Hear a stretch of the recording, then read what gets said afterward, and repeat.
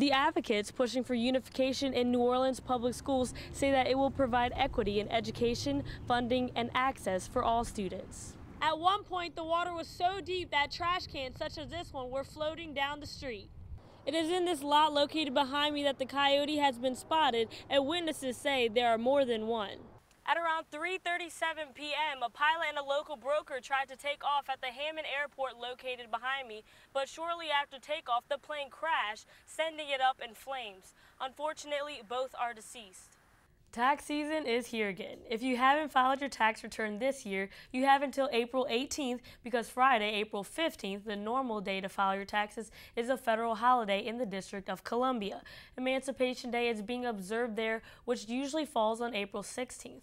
Courtney Williams tells us about the different options that are available to taxpayers. The Global Wildlife Center is extending a special welcome to Elsa, the newest addition to its giraffe family. Chef's Evening, an annual Southeastern fundraiser, is scheduled for Sunday, March 13th in the Student Union, with President's Toast beginning at 4 and the second part of the event beginning at 5.30. The money raised will benefit scholarship and academic programs at Southeastern. Tickets may be purchased by going on the Chef's Evening website and reserving the amount. In Slidell, Louisiana, lives a horse that people all over America are rooting for a horse named Lucky. The Wind Dancer Ranch Rescue is his new home and is a place of refuge for other abused animals like Lucky. It was heart wrenching, and we, he was so weak we were worried about if he was going to be able to make the ride home in the horse trailer. He was stuck, fighting for his life, when Aubrey Stewart says a Good Samaritan used a tractor and straps to get Lucky walking again. He was, he was in bad shape. He was a rack of bones. Um, obviously, very emaciated. A condition that Lucky found himself in after long term abuse and neglect. This horse has been abused for over a year or longer, for sure. Um, it doesn't take long for him to lose the weight, but he's got a lot of lacerations and marks on him. Um, so he's been abused. Rescuers at Windancer Ranch rushed him to LSU's vet clinic in Baton Rouge to be evaluated he's, he's got fight in him. He, he, he wants to live. He wants to live. In less than a month, Lucky has already put on 100 pounds, truly living up to his name. Though they've been busy with feeding and caring for the animals, those at the ranch and in their support community are seeking very, justice very, very for Lucky. Because he was on death's doorstep, and hopefully we're going to catch these people, and, and the detective is going to prosecute. So we're, we're looking for jail time, and any other animals that he's got are going to be seized, and he won't be able to, and the people won't be able to own them no more. To prevent animal cruelty, seizure, and consequences, Stewart urges those who cannot afford to keep animals to give them to rescue facilities, friends, or family members. Don't wait till it gets to this point because once it gets to this point, that's what's going to get you in trouble. Say hello. Animal lovers hello. saw the condition Lucky was in eaten. and did not hesitate to demonstrate their support. For North Shore News, I'm Maria Goddard. Scientists at the Laser Interferometer Gravitational Waves Observatory, or LIGO, are credited for being the first to make a groundbreaking discovery recently at the research facility in Livingston Parish. I have more on this noteworthy story. For the first time in history, gravitational waves were detected, but it all started 1.3 billion years ago. If you think of it as an astronomy observation, it's the first time that such, um, uh, such a system has ever been observed. Two black holes about that size in orbit around each other and coalescing into one. In other words, the black holes collided, sending gravitational waves into space. The actual event that gave rise to this uh, gravitational waves is an extremely violent event.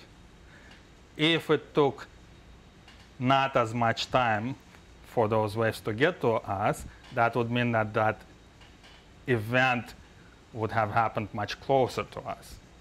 You don't want events like that to happen very close to us. It took millions of years for these waves to reach Earth because of the event's distance from us. When they did, scientists and researchers at LIGO and Livingston discovered them. This discovery confirmed one of Einstein's theories he made 100 years ago. What Einstein told us is true. So it- it's a, I think, in my opinion, it's a big difference. So the uh, general relativity, the theory of general relativity is now uh, experimentally proved.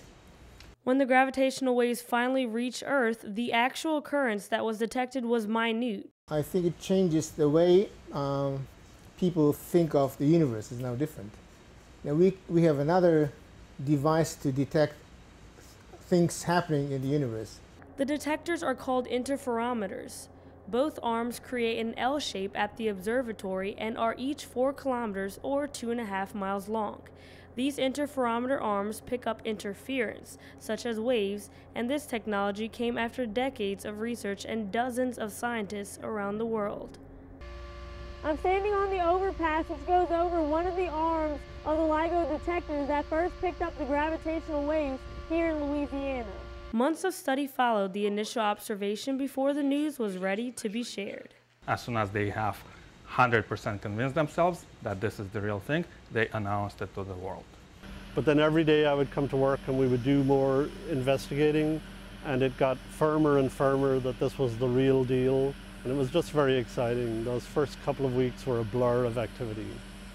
Observations will continue at different facilities in the United States, and in the future, additional observatories like LIGO will be built around the world to accurately pinpoint the location of the black holes.